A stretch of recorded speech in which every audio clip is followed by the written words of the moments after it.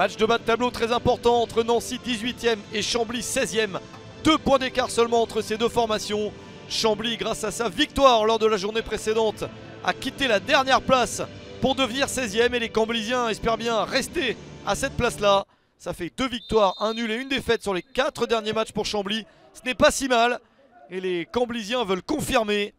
Derrien est suspendu pour ce match. Guézoui est toujours blessé. Nancy, avec ce match à domicile, veut de son côté quitter la place de barragiste et s'imposer. Ça commence bien avec la passe de Saliusis et la reprise de Warren Bondo pour un premier but en Ligue de BKT. À la dixième minute, l'équipe Lorraine mène déjà 1 à 0.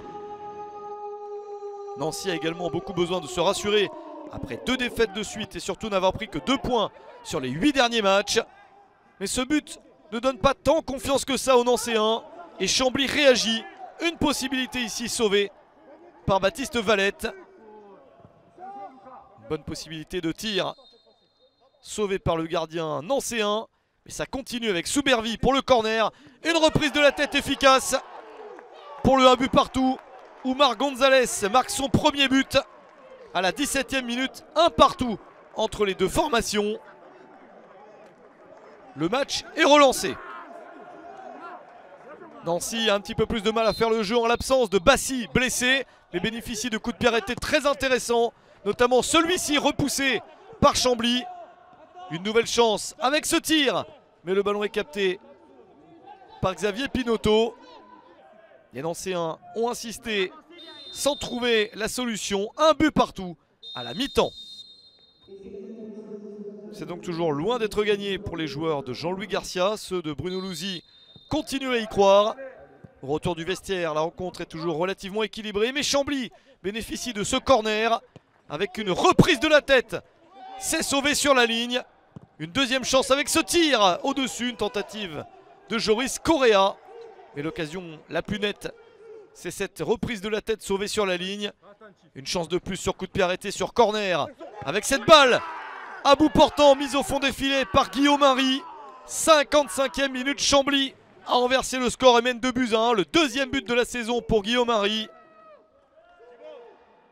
Chambly a pris l'avantage. Mais Nancy ne doute pas. Un corner, cette fois-ci pour les Nancéens. Et ça termine encore une fois au fond des filets. Les coups de pied arrêtés font beaucoup de bien aux deux équipes. De partout à la 73e minute. Barca au service, Triboulet à la finition.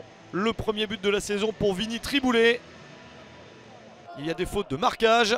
Et ça permet de voir pas mal de buts dans cette rencontre. Déjà 4. Et ça n'est pas terminé à 10 minutes de la fin. Nouvelle accélération nancéenne. Le ballon traverse la défense et termine dans les pieds de Giovanni Hag pour le but du 3-2. 6 au départ de l'action pour la passe et le deuxième but de la saison pour Giovanni Hag. Nancy a mené, Chambly a mené et c'est de nouveau Nancy qui mène au score. Match un petit peu fou qui n'est pas terminé car à une minute de la fin, Chambly repasse à l'attaque avec cette passe dans la surface et Guillaume Marie à la conclusion. Le doublé pour lui à la 89e minute pour un troisième but cette saison. Il est très en forme. Il a marqué un beau but sur la journée précédente. Il en met deux sur le terrain de Nancy. Jolie passe de Zabou et Guillaume Marie en profite pour égaliser à trois partout. Match extrêmement disputé jusqu'au bout qui ne trouve finalement aucun vainqueur. Trois partout entre Nancy et Chambly.